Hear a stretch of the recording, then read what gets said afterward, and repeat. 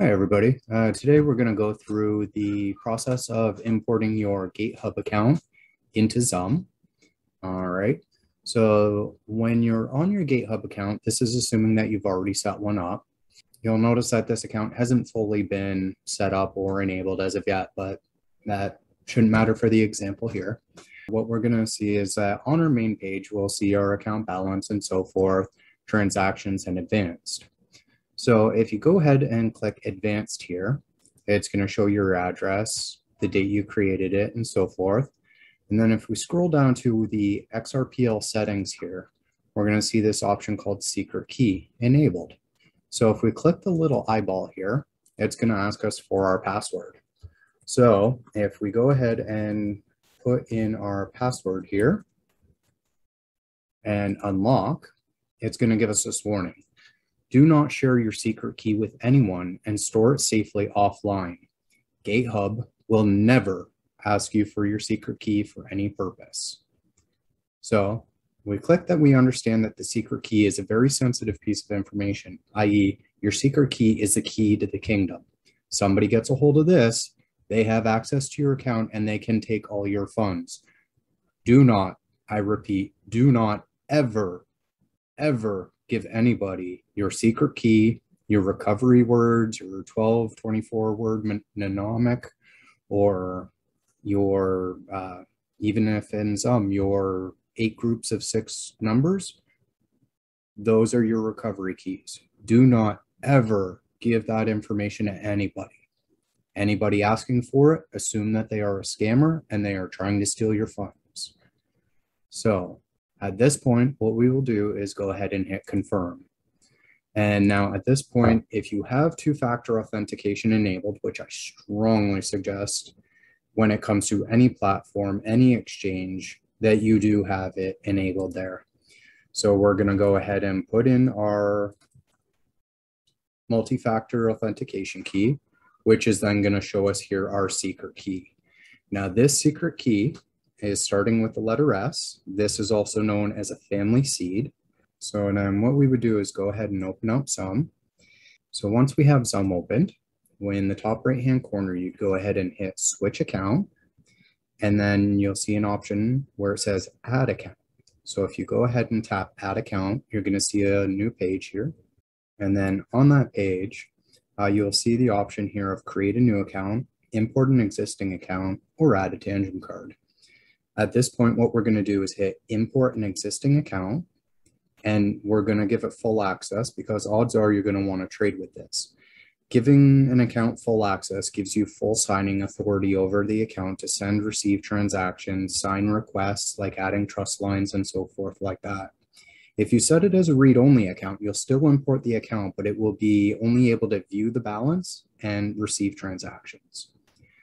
So now there is a option that if you do set it as read only, you can upgrade it later on to a full access,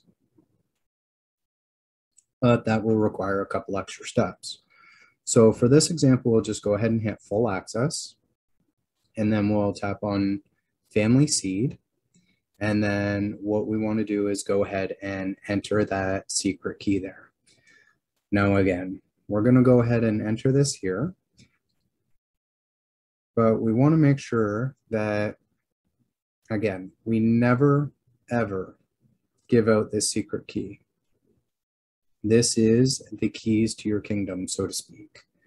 Again, if anybody gets a hold of this, they are fully able to go through and basically take all your funds.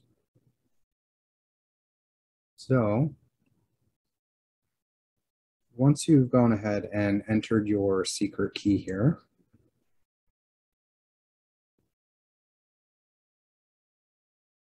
go. Should be able to go ahead and hit next.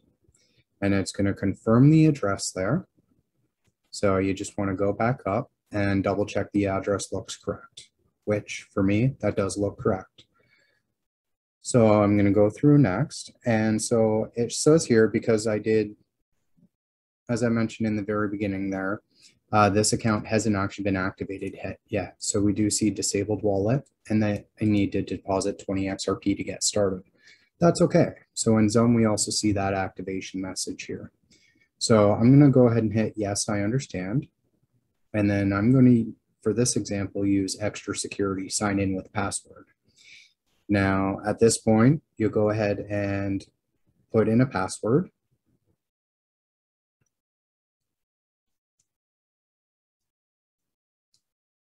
And you want to make sure it's a very strong password.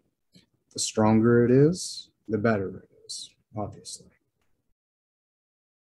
And then you'll go ahead and confirm that password and then go ahead and hit next.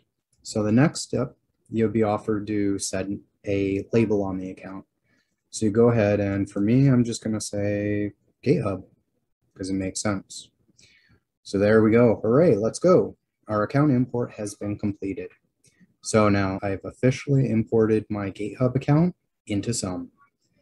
And that there is the import process. Now, this gives you a lot of great benefits as you're able to basically deposit your USD or euros or whichever case and have direct access to it in XUMM, right? So if you were to send a Swift payment or so forth, and the payment gets deposited to your GateHub account, you would then be issued the USD IOU if you're depositing US dollars. With that being said, as soon as that's deposited and you have your USD IOU, you can go ahead right away and either in XUMM or on GitHub, go ahead and hit trade. Or in XUMM, you can go ahead and hit exchange and trade for XRP or other assets there. If you do have any questions, I am available on Twitter via at CodeWard1, or I'm also available in the Casino Coin Discord. Alrighty. Thank you very much, and I hope you found this helpful.